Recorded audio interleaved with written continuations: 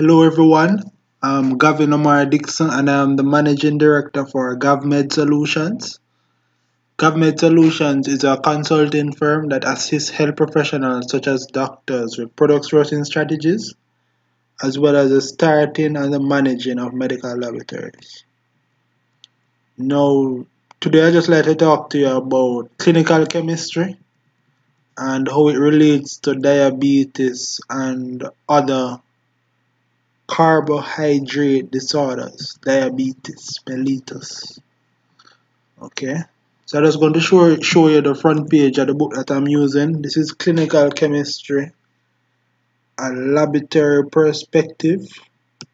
It's a book by Wendy Arneson and Jean Brickell. It's quite an interesting book, copyright 2007 so yeah. So it's a clinical chemistry book. So they take a look at the table of contents right here the overview of clinical chemistry. Quality assessment. You have laboratory techniques and instrumentation. Diabetes and other carbohydrate disorders. Hemoglobin production disorders and testing, assessment of renal function, assessment of liver function. You have assessment of cardiovascular disorders too, respiratory disorders, nutrition and digestive function, endocrine disorders and function, reproductive endocrinology, and fetal testing malignancy disorders, and the therapeutic drug monitoring and toxicology. So that's a table of contents, which is basically what the book is all about. So I'm just going to go into the overview of clinical chemistry to just give you an idea of what clinical chemistry is. clinical chemistry is a science, a service, and an industry. As a science, clinical chemistry links the knowledge of general chemistry, organic chemistry, and biochemistry with the understanding of human physiology. So as a service, you know, the laboratory produces objective evidence from which medical decisions are made. In the industry aspect, it operates under the regulations that guide commerce in the United States. Yeah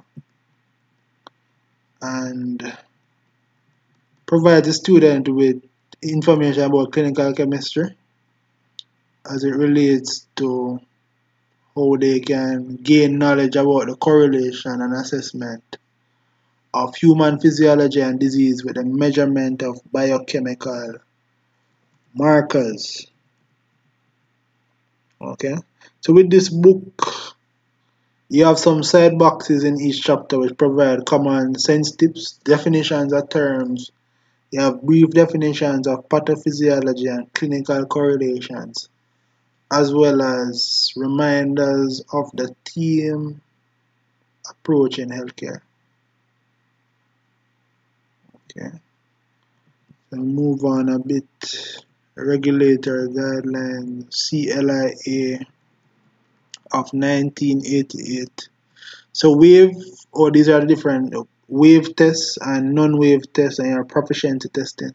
So the wave tests, those are very simple are pose no reasonable risk of harm to the patient if the test is performed incorrectly. So there's no really risk of harm to the patient if those tests are perform incorrectly because they are very simple tests. You have non-wave tests which are complex tests that require skill to perform and interpret and are therefore regulated. Proficiency testing now that's a method of monitoring accurate outcome in which test samples from an external source are analyzed and results compared to those of reference laboratories and scored for accuracy. So that's what proficiency testing is all about. The more complicated the test, the more stringent the requirements. Laboratories that perform non-wave testings are regulated under guidelines that cover quality standards for proficiency testing, patient test management, quality control, personnel qualifications, and quality assurance. The regulatory process is outcome oriented with PT, that's proficiency testing, as the principal outcome measure. So that's some information you have there. Daily quality control. Daily quality control. Well, let me start from this paragraph. Additionally, laboratories may be inspected for quality. The laboratory may be inspected for state regulatory agency. That's in the United States. In Jamaica, I guess you would have JANAAC basically regulating the labs. So you'd have to check daily quality control and documentation of quality assessment are the key areas for inspection. CLIA 88 provides guidelines for both daily quality control and systemic quality assurance of the testing process from ordering test to reporting the test. Okay. Those are the safety regulations, you know, safety equipment, your glasses and goggles, yeah, work shields, gloves, coat, apron, fume hood, explosion proof refrigerators, compressed gas storage, storage cabinets. Okay, so it also gives you a description of these personal protective equipment, that's a PPE. So you have unbreakable eye shields that surround the eye area, those are the glasses and goggles and this is basically used to protect exposed skin and clothes that may be worn outside the laboratory. Okay, so that gives you some information about the personal protective aspect. So the clinical chemistry laboratory personnel must adhere to the bloodborne pathogen safety protection procedures uh, minimum at minimum the manual should include this information basic rules and procedures chemical procurement distribution and storage environmental monitoring housekeeping maintenance and inspections all of that information should be in the the whole safety regulations of the um, medical lab. So you should have a, a safety manual with all of this information, waste disposal, requirements for training, procedures and documentation of skills and accidents, requirement, health hazards and medical treatment options, all of those. So, you know you have a red area. This is a safety diamond. Red area is flammable. Blue area is health related.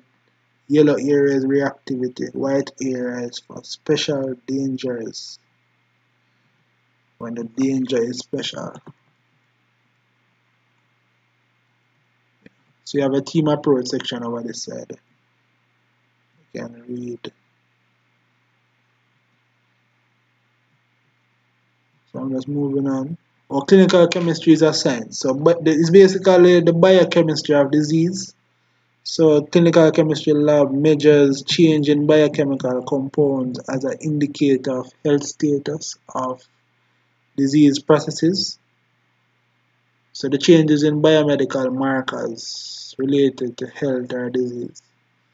Based on the biochemical changes, you know, there are uniforming tests on organs in response to disease, the measurement of selected biomarkers, can be used to monitor disease processes as they occur in specific living cell systems. So a biochemical marker is any biochemical compound such as an antigen or antibody, abnormal enzyme or hormone that is sufficiently altered in a disease to serve as an aid in diagnosis or predicting susceptibility to the disease. You have a definition of homeostasis here. It is a state of dynamic equilibrium of the internal environment of the body that is maintained by processes of feedback and regulation in response to external or internal changes. So the clinical, okay, so biochemical markers, you know, for instance, an increase in the concentration of urea nitrogen in the blood may indicate kidney failure or increased concentration of blood cholesterol, you know, indicate increased risk of cardiac disorders. So, you know, you can get a heart attack or probably a stroke or anything like that. So carbohydrates, you're talking about your glucose, your fructose, your monosaccharides, galactose, all of those chemistry related things. So that's that for the polysaccharides and all of those.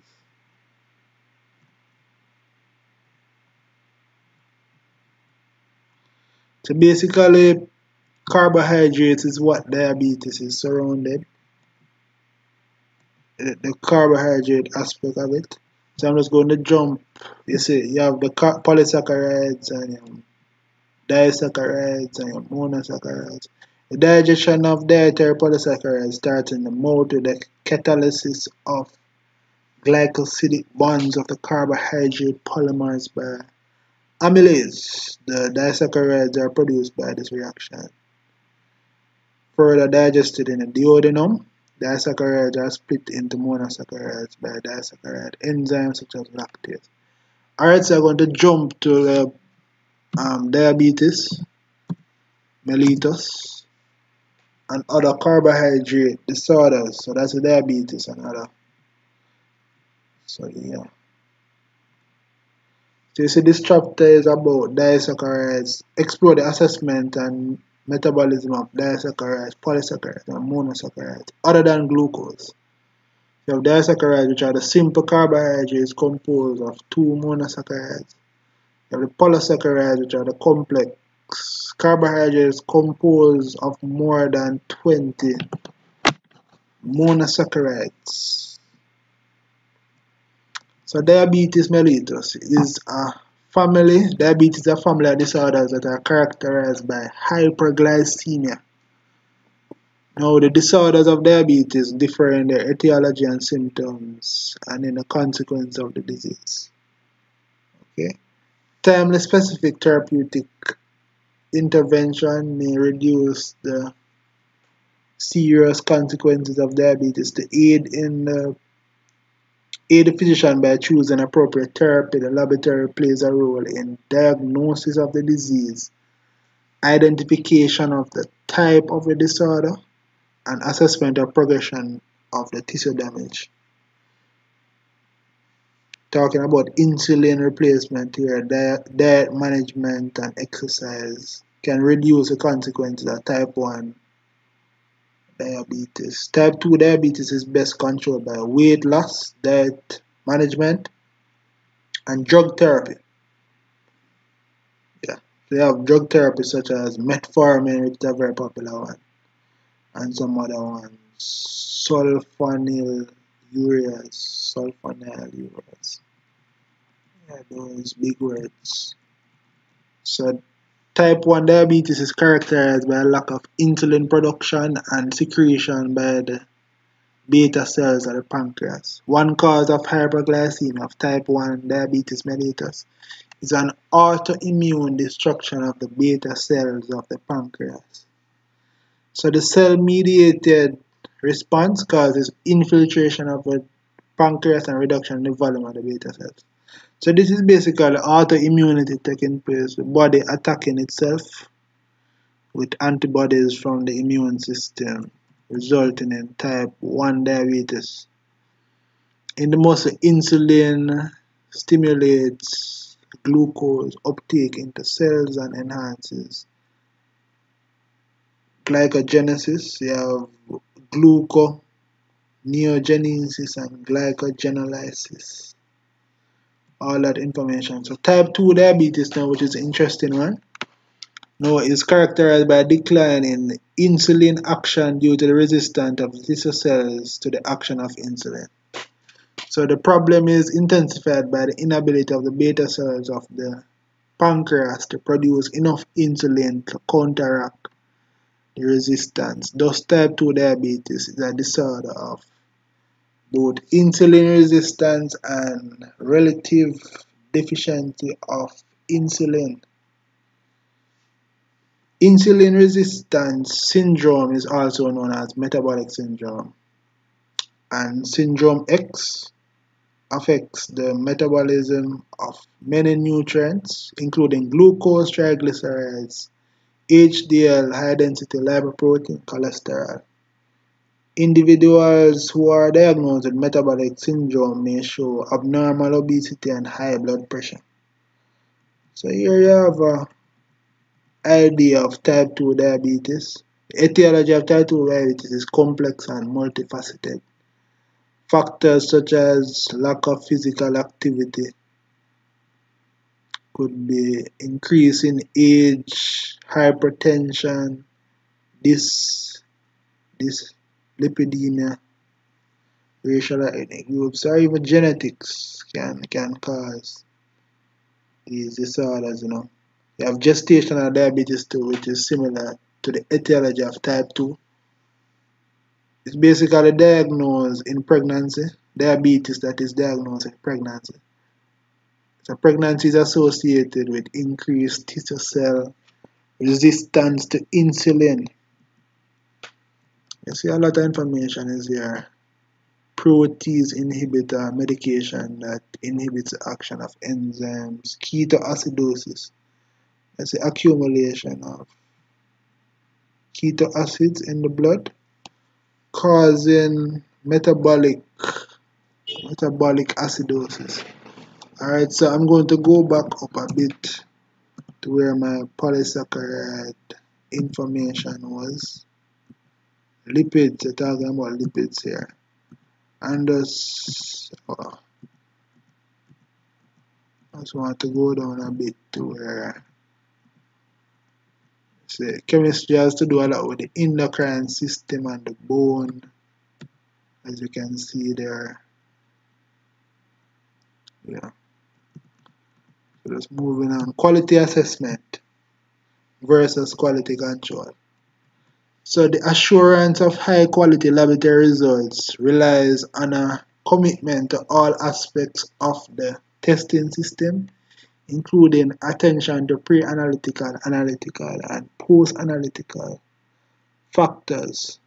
The analytical phase includes verification of instrument linearity, precision, accuracy, and overall reliability through the use of standard materials, quality control samples, procedures, and QC rules. Management of high quality laboratory testing must include the use of QC systems, which measure the variety of the analysis and consider also consider all the aspects of the process of laboratory testing prior to and after. You have continuous quality improvement. Also, the quality control sample that has sample with the matrix similar to the patient specimens with known concentration. Right. This is all about quality assessment, specimen transport, additives to blood, you know, analyte, acetone, alcohol, bilirubin. All of that information in this table is critical to the specimen handling in clinical chemistry.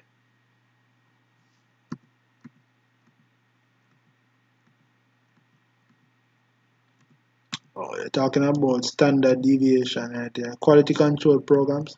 The goal of a well-defined quality control system is to detect immediate errors in an analytical run while minimizing the number of false rejections. The simplest type of QC programs procedure uses one rule to reject the analysis based on QC results falling outside the range such as 95% if this is used 5% of the time a result that falls just outside of the 95% range would be false rejected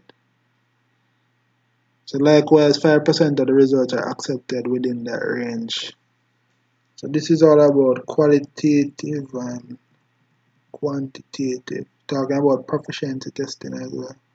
Adherence to a QC program with specific rules will help to achieve quality goals during routine laboratory operation. Medical decisions, the concentration or limit at which the test results are critically interpreted. That's the medical, and I have some information about proficiency testing there again, which is important to the QA and QC aspect of the medical lab. Okay, so that's some information that should be helpful. You are basically showing you a, a little glimpse of quality assessment, quality and control, and diabetes mellitus as it relates to clinical chemistry. So thank you so much for your time. If you need more information, you can Google Gavin Omar Dixon or GavMed Solutions. Thank you.